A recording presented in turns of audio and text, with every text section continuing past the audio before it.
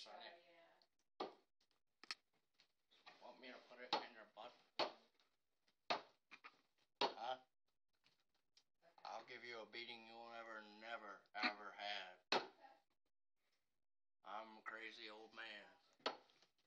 Come here. Come here. Alright. Don't look at me like that.